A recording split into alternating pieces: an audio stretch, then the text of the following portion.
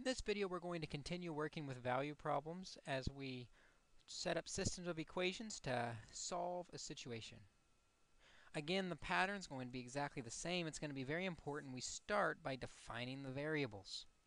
We need to know what everything represents. If I see an x or a q or a p, what does that represent? And then as we set up an equation, we need to make sure the equations are completely separate. One equation for the number of coins we're working with, or the number of tickets, or whatever we're working with, and one equation for the value that's assigned to each of those things. So for example, if Scott's got 225 made up of quarters and dimes, and there are 12 coins, how many of each does he have? We see he's working with quarters and dimes. So let's define our variables. Let's pick q for quarters, the number of quarters. And D for dimes, or the number of dimes.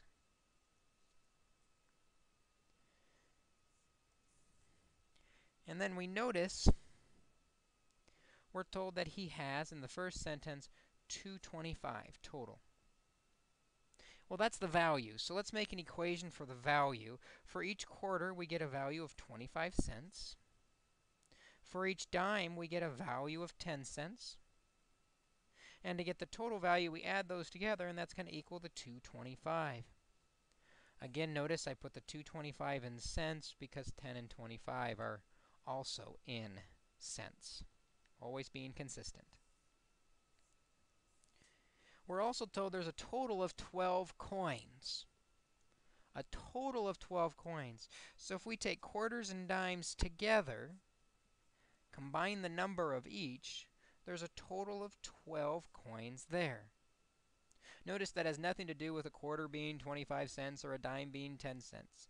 What we're told is the number of quarters and the number of dimes together makes 12 total coins. Now we're ready to solve this system. Notice it's set up almost ready to solve by elimination, addition we need to get opposites in front of one of the variables, it'd be really easy to get 10 and negative 10 in front of the dimes. So let's do that. Let's multiply the second equation by negative 10.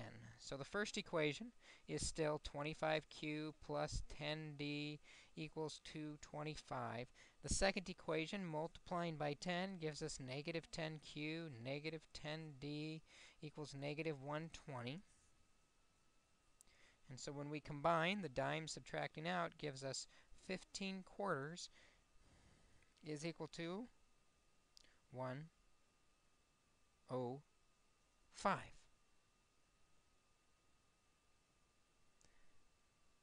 Divide both sides by 15, and we get the number of quarters is equal to 7. We now know there are 7 quarters. I'll put my solution over here in the corner. Because we still need to know the number of dimes. And how we're going to get that is we need to go back because we used elimination to one of our original equations. And it doesn't matter which. The second equation looks much simpler, though. q plus d, 7 plus the dimes is equal to 12. Well, we can quickly solve that by subtracting 7 from both sides, and we find out the number of dimes is equal to 5. So we have 5 dimes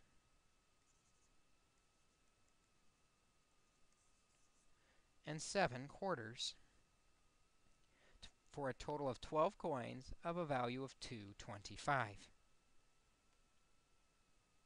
Let's try another example, defining the variables and setting up two equations, one for the value and one for the number. Here we've got a bunch of people attending a concert, 105 of them. 250 for an adult ticket, 175 for a child ticket, and total receipts were 228. How many children and adults went to the concert?